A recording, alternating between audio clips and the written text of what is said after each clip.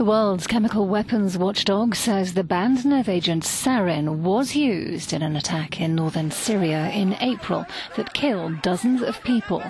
A report by the Organization for the Prohibition of Chemical Weapons says the gas was used in the town of Khan Sheikhoun in northern Idlib province on April the 4th.